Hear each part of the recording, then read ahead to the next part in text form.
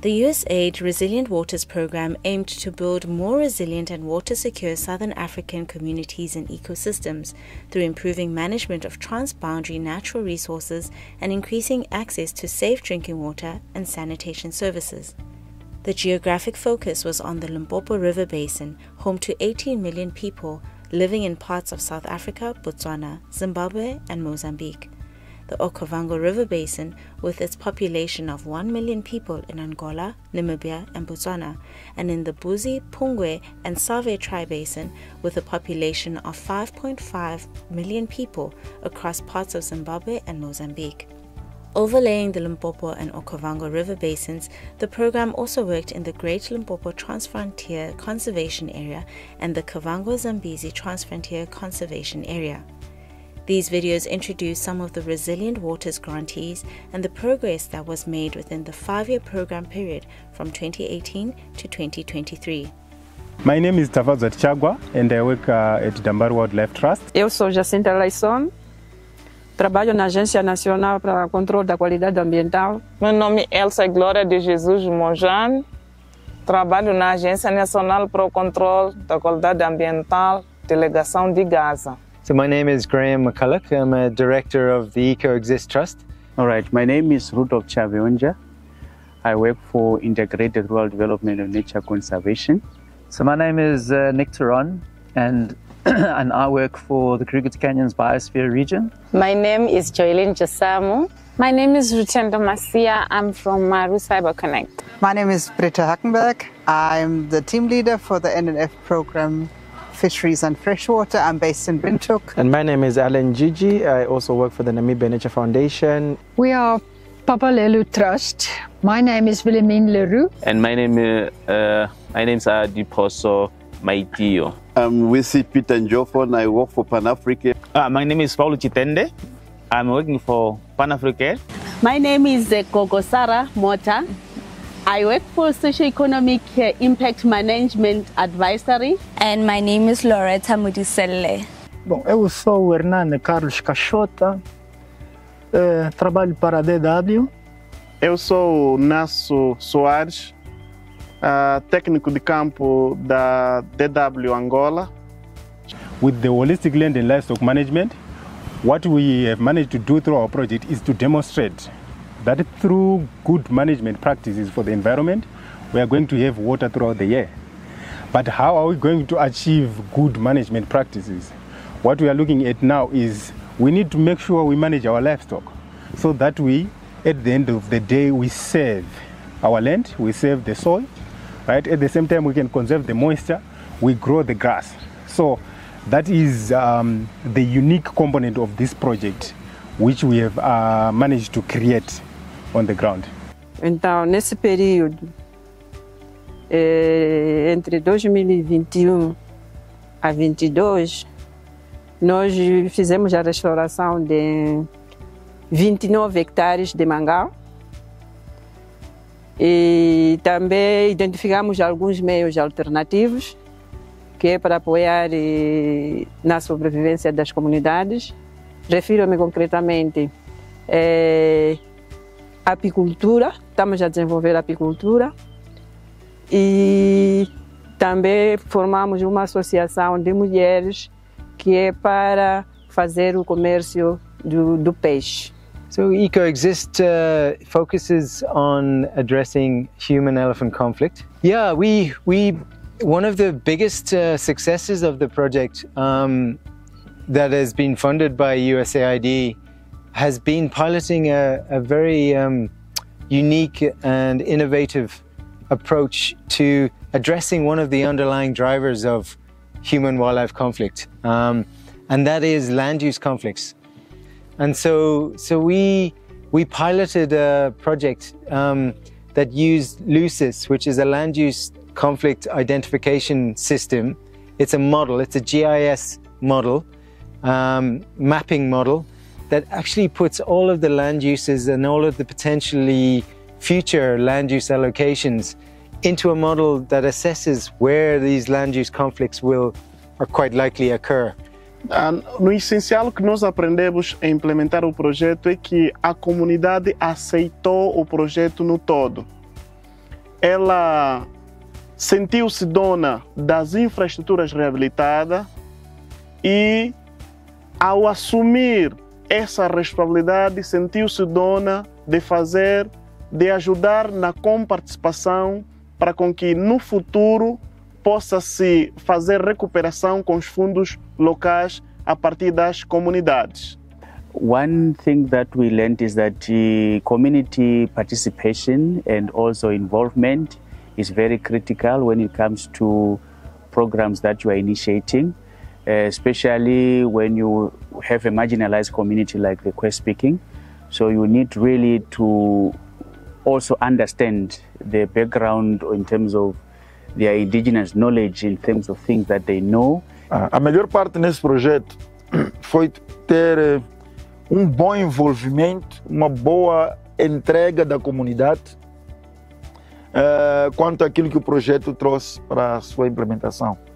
Uh, eu estava a dizer, por exemplo, eles tinham uma expectativa de uma coisa, que era receber um furo de água, uma infraestrutura, o que é necessário, não negamos isso, mas o projeto tinha um dado foco e tivemos que falar com eles, por exemplo, que olha, é como ter uma viatura. Uma viatura é necessária, mas você precisa aprender a conduzir o carro, a verificar o óleo, a água muito cedo de manhã. E quando a viatura vem, é fácil, você já está instruído como usar. E eles, a partir daí, começaram a perceber realmente que ter informação, ter conhecimento é muito bom. E quando a infraestrutura chegar, eles estavam em condições de fazer melhor gestão. We, we learned a lot. Um... And I think um, one of the most critical things is the importance of diverse partnerships. Um, we, I think, as a sector, need to be exploring uh, means to um, be more sustainable and not be so reliant on donor funding. Um, so, so partnerships with business and other sectors are, are critical. Um, and you know, partnerships build a really strong element of sustainability into work as well. And the, the stronger partnerships are, the, the more potential there is that um, you know that additional impact can be leveraged and um, more results can be achieved, hopefully into the longer term. We have introduced a Mopani worm uh, farming or semi-domestication uh, activity where we've established some domestication plots in each of the districts. Uh, this is uh, meant to ensure there is continuous availability of the Mopani worm because we have noted that in some of the districts, particularly in Beitbridge, there is a shifting trend in terms of availability. In one part of the districts, the worms are no longer available in sufficient quantities for commercialization and also through this program, through our 130 um, ambassadors, we are going to reach out to 80,000 people in Gauteng and uh, Limpopo province. You know, we had a beautiful experience in the Alexandra township of the city of Johannesburg, where we took the training to water warriors in that area.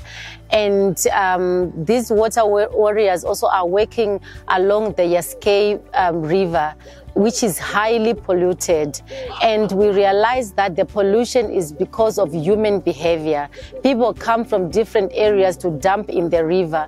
So when we conducted the training, we told them that you are custodians of the river, you know, next to you. You need to take responsibility. Mm. And now we told them that you can actually police the river and um, uh, stop people from illegally dumping in the river. So the community was so excited. So we saying that we didn't know that we could do this, but because of this training, now we we are contributing to the conservation of our river and protecting it as a community, and which which which which is something that they never thought they could do. Now they are taking ownership, which is very exciting. One of the key take home messages was working working with communities requires a lot of trust and patience. It's not an, an easy task that one can do. Um, at the same time, it's all about having a participatory approach to, to, to, to whatever you would want to achieve at, at the end of the day. Yes. But actually, I think on agriculture, I feel also, you know, we have learned that we have to pick up people and walk in baby steps. Like, you know, don't expect people to change something that has sustained them for centuries in one season. And, you know, kind of having a gradual change and picking people up where they are with the means that they're having. I think that was also one of the important lessons learned. And honestly, if people start practicing conservation agriculture only on two square meters and not on two hectares, we should also be perfectly fine with us. Uh, that should be perfectly fine with us because, after all, if they see it works for them, they will expand and adopt it. Yes. In this duration of this project, we haven't really broadened our input as much as deepened it. And we learned a lot about how much time we should actually give to this process that we've been engaged in. Otherwise, we also learned quite exciting new alternative ideas to counteract climate smart, climate change. You know, there's really the opportunities are there in our area. There, there is resilience in our area, and we've learned a lot on about that, and we'd love to implement that in the next stage. Our project is focusing on water source protection, um, which is about um, mapping sources of water in, in the community and uh, how the human lifestyle is impacting on the water sources. So it was about the, the solutions that came from a desperate situation of diapers on, or disposable nappies being scattered all over to then learn to recycle and upcycle and add value to what is considered waste. Yeah, we uh, have uh, very vulnerable people living in the two national parks in Cuando Cubango to diversify uh, their livelihoods using honey as value chain as an entry point. Uh, actually, we distributed uh, 1,172 beehives. We are going to distribute more beehives in the coming days. We are able to help people who have never for long feel neglected. So for us, uh, that it's really empowering to see that people bringing life to people, showing them that they are, they can be honored, and that they can improve their lives. For us, working for such type of people is really for us is a blessing.